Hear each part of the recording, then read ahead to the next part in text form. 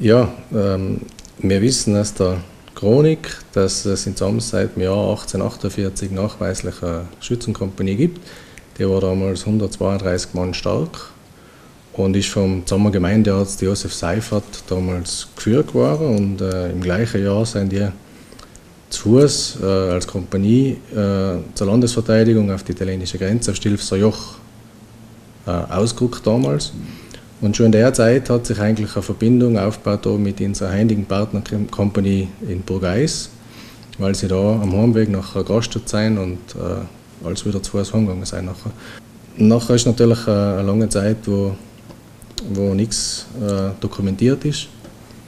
Und der Sommerlaufbrand im Jahr 1911 hat natürlich auch viel vernichtet von Unterlagen, Requisiten, alles was Fahnen und so weiter äh, da war. Aber äh, der Valentin hat äh, ganz einen Haufen alte Sachen noch zusammengefunden, zum Beispiel auch eine alte Scheibe von 1891, verfallter Schein.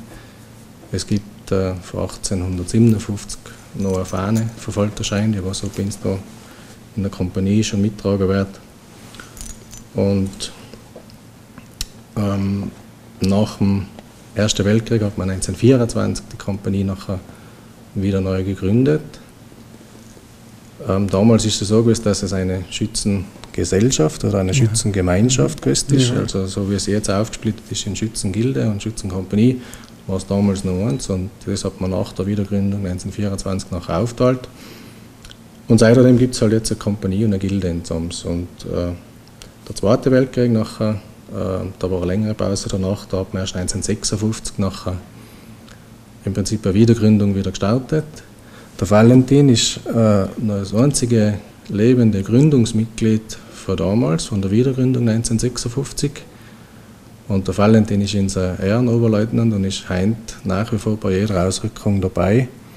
Und der Valentin wird jetzt ein bisschen was erzählen, wie es dazu gekommen ist, dass damals, nach 1956, wie die Kompanie wieder entstanden ist.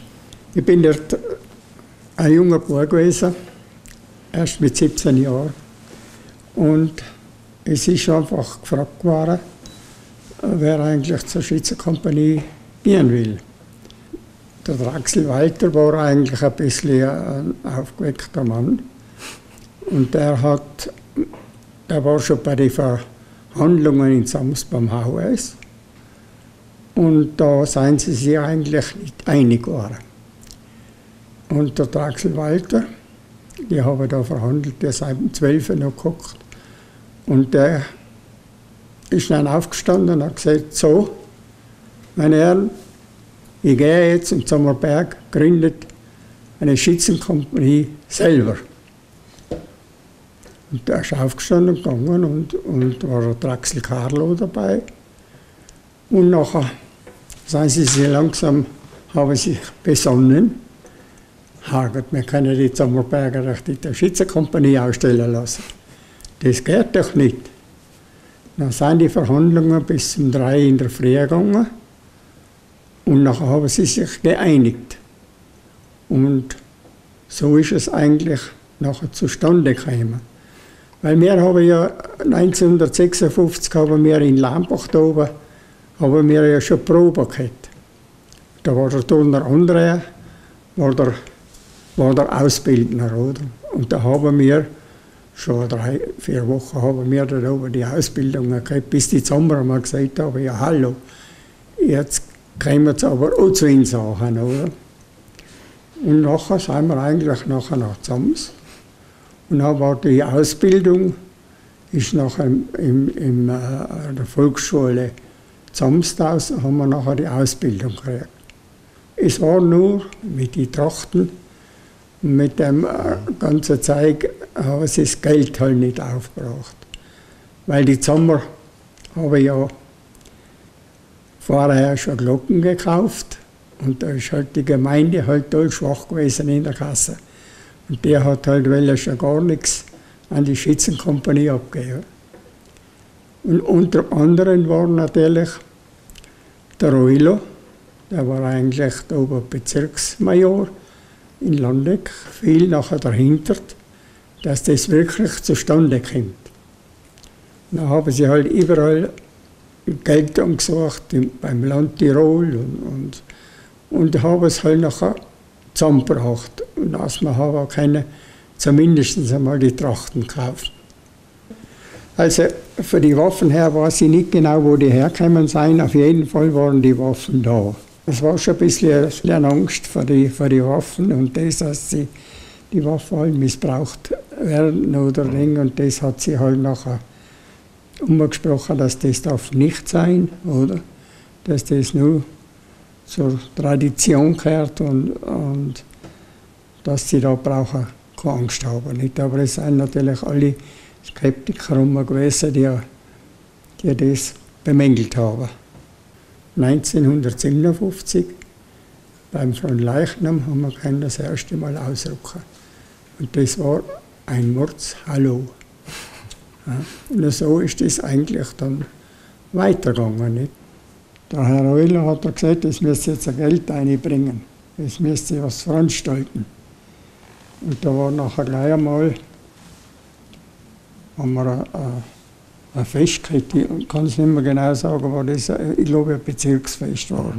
Wir haben ja kein Zelt und nichts gehabt. Oder? Wir sind ja praktisch sind wir in der Reise runter, haben wir eigentlich die Fester abgehalten nachher nicht. Und da hat man nachher alles mit, mit äh, Dingen aufgestellt, Tanzbühnen und, und, und die ganze Ausgaben und die ganze Pudel hat man hergestellt und, und da haben wir nachher haben wir noch eine Flut Musik gehabt und es ist auch für das Tanzen hat man müssen bezahlen. und da hat es nachher den Karten gegeben, nicht? und da hat man keine Karten kaufen, hat man keine tanzen gehen. Da ist schon an der, äh, der Schranke gestanden, nicht? da so ein Holzschrank offen sogar. Und da hat man nachher die, die Karten abgerissen, dann hat man keine tanzen gehen. Das waren so unsere ersten Feste was wir eigentlich in, in Samstag haben, in der Reserunde. Eine Geschichte haben Sie einmal erzählt, Valentin, ich weiß nicht, ob du die weißt. Ich glaube, das ist gewesen bei der Einweihung von der Zammer Saalbahn.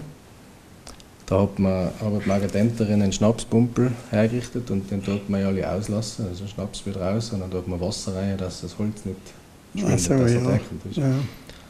Und von lauter Gnät haben die äh, Leime geschaut, ist etwas drin ja, passt, ist etwas drin und sei gegangen. Und dann haben sie wieder aus und nach der, nach der Ehrensalve einen Schnaps ausgeschenkt. Aber ich wusste, dass leer Wasser drinnen ist. Und da habe ich den halt noch verteilt. Und der damalige Landeshauptmann der Wallnöfer hat halt den Schnaps getrunken und ihn angeschaut und hat gesagt: Wow, du, toll und Lucke. und das erzählen sie halt jetzt alle, weil sei da dort. Ist halt das ja, Ritual, dass ja, man ja. wirklich auch schaut, dass, dass das Richtige drin ist, was reingehört. Aber es war alle ein, ein guter Zusammenhalt, also muss ich echt sagen. Also wenn ich nochmal auf die Welt kommen werde, gehe ich wieder zu den Schützen. Also ich bin ein wirklicher Anhänger von den Schützen. Ich habe mir immer vorgenommen, wenn du zu einem Verein gehst, dann bleibst du dabei. Und dem kannst du dienen. Weil Drei, vier Vereine nützen dir nichts. Bei einem Verein kannst du was leisten, aber bei vielen nichts. Und das war alle mein Motto.